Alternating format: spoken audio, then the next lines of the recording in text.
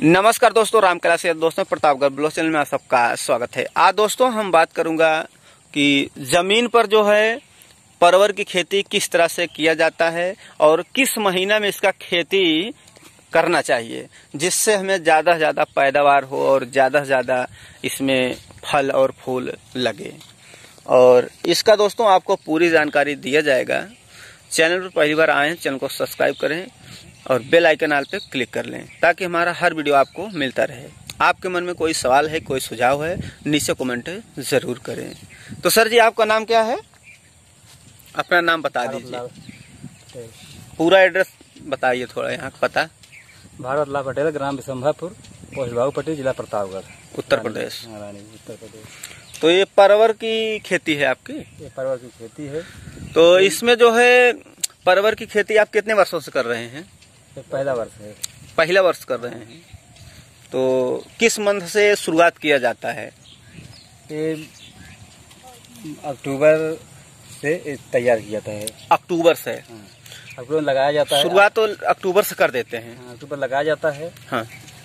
अक्टूबर के बाद नवंबर इसमें पकड़ लेता है कलर लेता है। अक्टूबर नवंबर में। नवंबर में। तो इसका जो है कितना किस हिसाब से लगाया जाता है? इसका खरीदा जाता है कि आप जो है यहीं से कर लेते हैं? यहीं से यहीं से। यहीं से जो है। जो फल है जैसा। हाँ हाँ। इसी में जैसे लगाना तो इसमें कौन सी डार कितना किस तरह से लगेगा? थोड़ा इसमें मोटी डार है। दिखा दीजिए। जैसे ये डार है हाँ। ये डार कुछ दूर पर काट लीजिए हाँ। और एक एक हाथ में मोड़ लीजिए। एक एक हाथ पे। हाँ। कितनी बार मोड़ना होता है उसको? चार बार पाँच बार।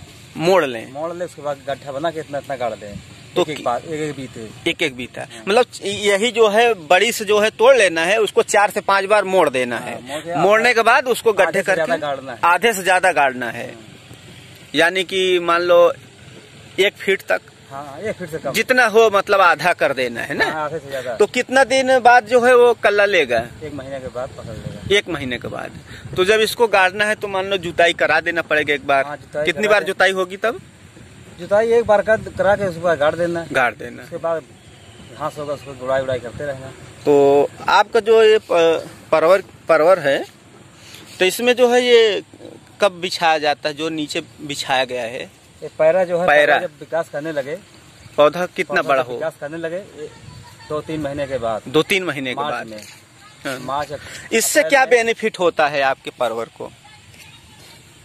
क्या इसको फ़ायदा क्या है फ़ायदा इसमें है हाँ। कि और खेती से बढ़िया है। मेरे मेहनत भी कम है। हाँ। फ़ायदा भी ठीक है।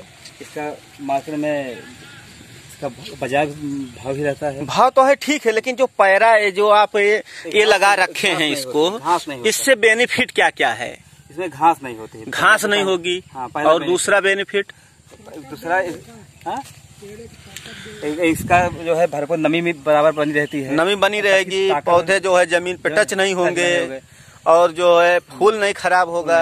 ये सब बेनिफिट है इसका है, हाँ। और जैसे पैरा है ये जिससे कहीं कहीं पर पियरा भी कहा जाता है इसे।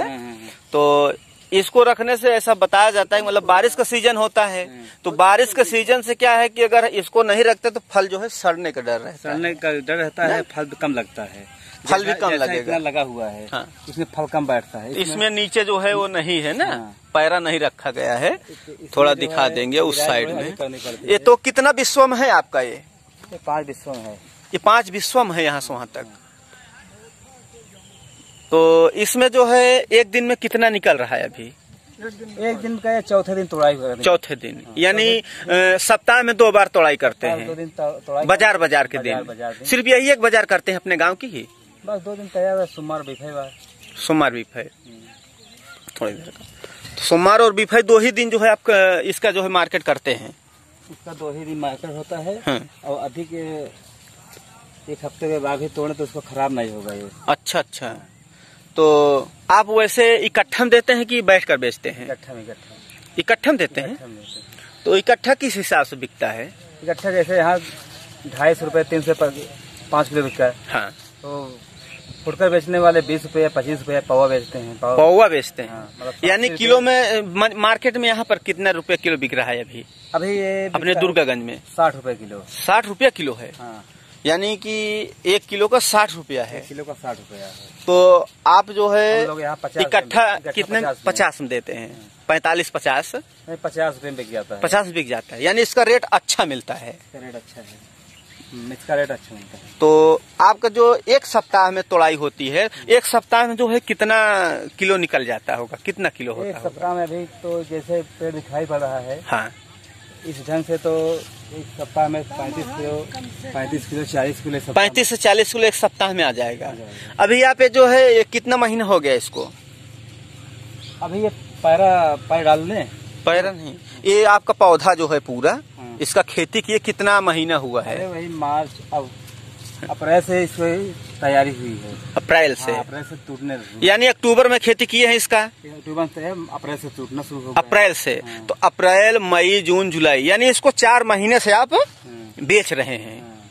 इसकी जो है बिक्री मार्केट में चार महीने से। शुरू हो गया। इसका रेट शुरू से ही इतना है। नहीं। हाँ। अब बाज़ार मौसम के ऊपर रहता है। बरसात तो इसका जो है अभी मान लो कि रेट अच्छा है। बरसात हुई हम्म। तो ये तीन सौ रुपये चार सौ रुपये पाँच किलो बिकेगा।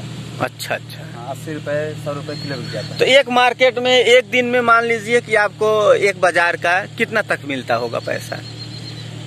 जैसे एक अंदाज। हम्म, जैसे छह सौ सात सौ आठ छह सौ सात सौ।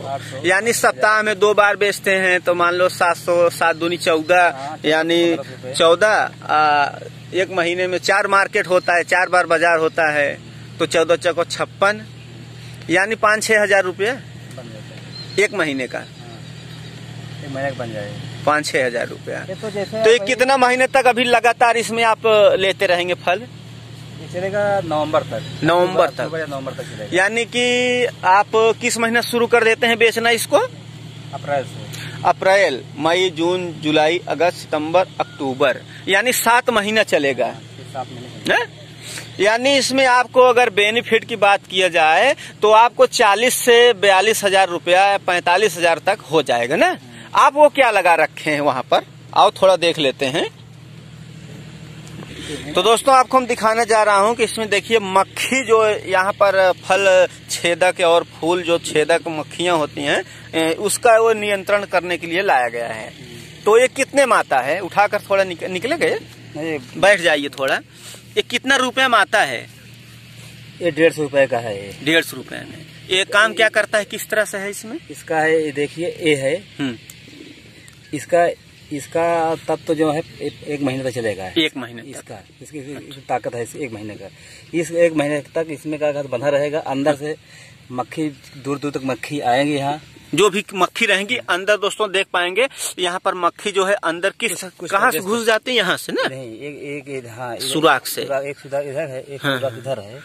तो यहाँ पर सुराख से जो है अंदर घुस जाते हैं और अंदर मर जाते हैं जिससे कि आपके यहाँ फल छेदक और फूल छेदक मक्खी से भी छुटकारा मिल जाएगा।